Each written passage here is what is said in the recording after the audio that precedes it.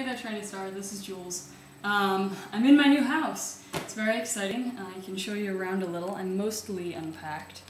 Um, there's my little reading place and my bed. King size bed. The joys of coming in, into a room that's already furnished. Um, my dresser. The closet, which just so happens to be an awesome walk-in closet. Um, I share it with the room next door, but that's okay. Um, a very pretty wardrobe and a little desk in front of the no longer fireplace, an awesome bookshelf, and another little desk. So one for Molly and one for me. It's very nice. Um, and I'm really happy with the house. So this week's topic is uh, musicals. Do we like them? What don't we like about them? Whatever. Uh, and I thought I would share with you my girlfriend's rules for musicals because she's a theater major, so she has a lot of opinions about a lot of things theater related. Um, she's actually a directing major, so. Uh, the first rule is musical numbers within musicals are okay. They're very good. So, like, um, Don't Tell Mama is a performance within a performance in cabaret.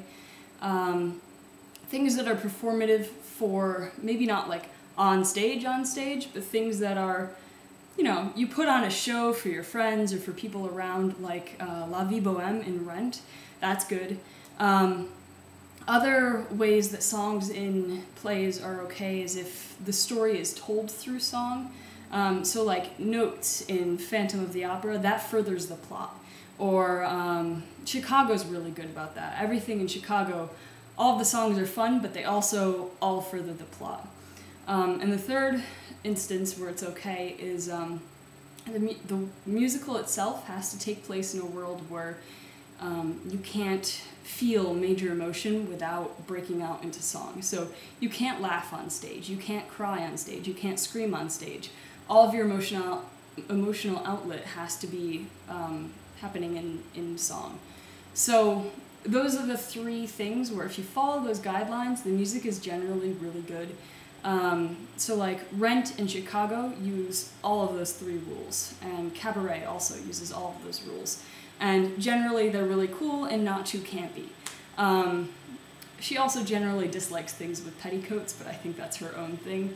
Um, so yeah, I just wanted to point that out because I think that's a really cool theory. Um, my favorite musicals are Cabaret and Chicago. Um, I love Wicked. Uh, I love Convenience, which is a lesser known uh, local show that somebody wrote in um, Rochester, I think it was. And it's just very cool, general coming out story, but done very well. Um, let's see. Are there any others? I think those are mostly it. Um, I know Hedwig the uh, Hedwig and the Angry Inch is a TV is a movie musical, but I like that too a lot. Um, but that's basically it. I don't really have a lot to say about musicals except yay for queers. We wouldn't have musical theater if it weren't for queers. So, huzzah! Um, be proud of yourself for that. Uh, for anyone who I told you I would get back to, I will, I promise. Uh, mostly unpacked right now. I still have some logistical things I need to take care of in the next couple days, but I will be getting back to you probably this weekend. Uh, I haven't forgotten about you. I'm so sorry that it's taken so long. And for anyone else who has questions, concerns, comments, or just things you want to talk about, um, feel free to look me up, shoot me a message either on TrannyStar or on my personal channel. My personal channel is Jules, J U L Z, B is in boy, 525. And just, yeah, look me up. I will respond in a timely manner, probably in the next couple days. Um, so, yeah, I hope you're all doing well. Take care. Bye.